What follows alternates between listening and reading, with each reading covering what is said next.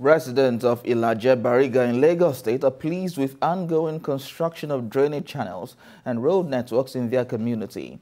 Some parts of the road have been in bad condition for a long time with blocked drainage and that prevents flow of water causing perennial floods. Chairman of the Community Development Associations commended the federal government for approving the Ecological Fund to address this environmental challenge.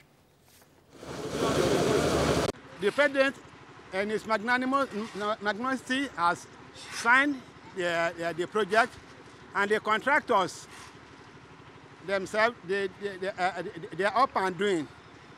They, they, they, they, they came to the site early enough and for the past um, almost a month now, they've done tremendous work in this project.